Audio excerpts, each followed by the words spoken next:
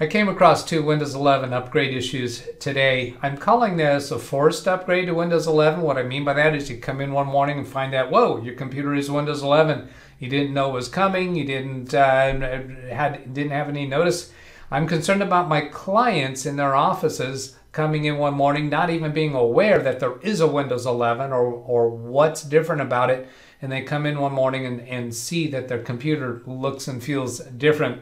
I don't want that happening yet. We're not thor- thoroughly tested against all the different software products and, and printers and such. So I'm not happy about this.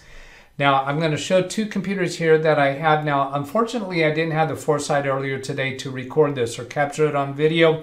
This computer that I'm showing right here had a message right around this area saying this computer is ready for Windows 11.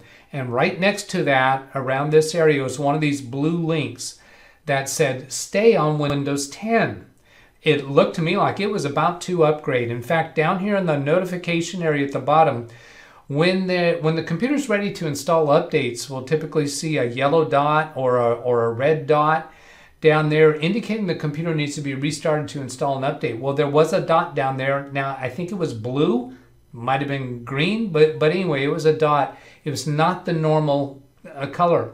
But this indicated to me that when the computer is next restarted, it was going to upgrade to Windows 11. I did not want that to happen on this computer. I clicked on that link to say stay on Windows 10. Now I'm going to switch over to the other computer that I'm connected to. It's a totally different issue on this one. It has this message. This PC doesn't currently meet all the system requirements for Windows 11. Well, the thing is, is that I recently purchased this computer, so it would specifically be able to install Windows 11. Now, if we go to this PC Health Check, I already have PC Health Check installed, so I'm not going to click to reload it. I'm going to press the Windows key, and then up here at the top, I see PC Health Check. So I'll just click on that, and that'll open it to find out what is wrong with this computer.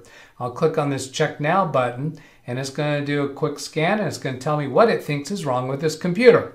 This doesn't meet Windows 11 system requirements. Down here says the processor clock speed needs to be 1 gigahertz or faster. And it's telling me right here that the clock speed on this computer is 0.8 gigahertz. That is not true. I'll come down here to the start button, right click on it, and come up to system.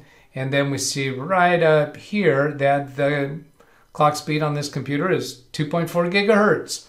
Last I checked, 2.4 is greater than 1 and it should have been able to work. So that's all I've got here. I hope that was useful. Have a great day. Catch you later. Goodbye.